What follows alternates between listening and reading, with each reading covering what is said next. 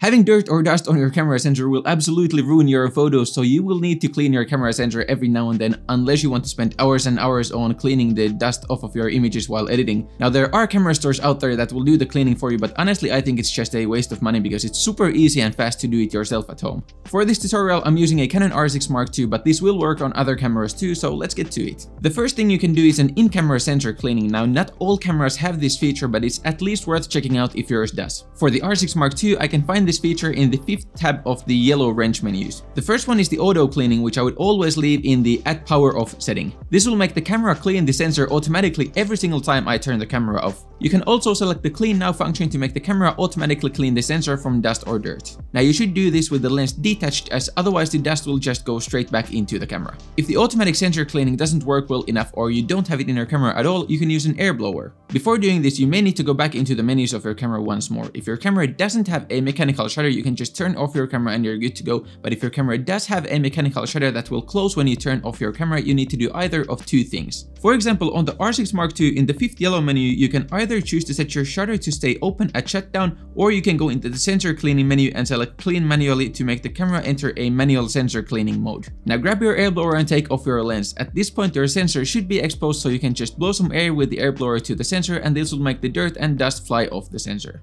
It's a good idea to have your camera facing downward so that the sensor is facing the ground so that the dust won't just fly straight back in and it's also a good idea to blow some air into the back of the lens because if there's any dust hanging around in there that will just go straight into the sensor when you turn your camera on. You can either use a manual or an electronic air blower, but never use compressed air because that may end up spraying some liquid onto your sensor which you definitely do not want. I'll have links to a couple of air blowers and sensor cleaning kits in the description down below, so check those out if you need to. Usually the air blower will do a good enough job, but if it doesn't, the last thing you can do is use a sensor cleaning swab, and I know that this may seem very scary to do at first, but trust me, it's completely safe. When you're buying the swabs, you have to make sure that you're buying the right size swabs, so there are different size swabs for different sized camera sensors, so the first thing you need to do is check the size of your camera sensor. So for example, I have a full frame sensor in my camera, so I'm going to buy full frame sized swabs as well. Now that you have your swabs ready to go, make sure that your camera sensor is exposed the same way we did in the air blower step and then take out the swab carefully from the packaging.